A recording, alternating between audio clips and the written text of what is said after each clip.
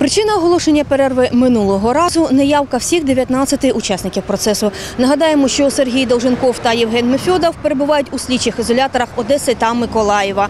А інші 17 виправданих повинні з'явитися до приміщення Одеського апеляційного суду, так як засідання проходить у режимі відеоконференції.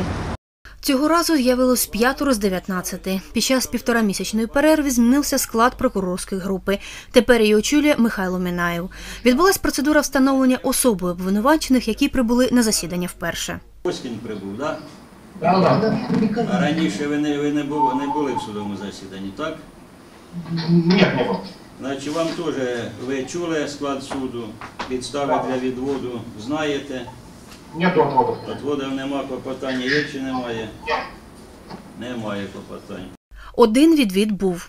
Поступила письмова заява від захисника Каркіщенко, в якій він е, просить судді розглянути питання про відвід головуючу по справі Міняйла у розгляді цієї справи. Будь ласка, захисник, ви підтримуєте апеляційну е, заяву про відвід чи ні? Ваша честь, я вважаю, що на даний час ми не можемо розглядати цю заяву, оскільки відсутні всі особи, що приймають участь у судовому розгляді. А заяву я підтримую.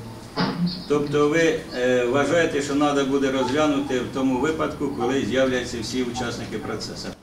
Думка учасників процесу не заперечує ніхто, щоб розглянути заяву про відвід головуючому, коли соберуться всі учасники процесу. Не заперечую. Не заперечуєте. Якісь важелі тиску застосувати, щоб були всі адвокати, і щоб вони з'ясували, де знаходяться їх обвинувачені. Тому що коли люди не знають, де їхні клієнти, я вважаю, що це теж неправильно. Неправильно.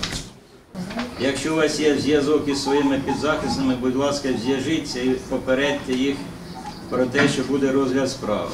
Тому що суд рано чи пізно буде вирішувати питання про привід обвинувачених в судове засідання. Те саме просьба до інших виправданих, які знають, які мають зв'язки з кимось по телефонах. Будь ласка, повідомте, що 6 числа буде розгляд справи.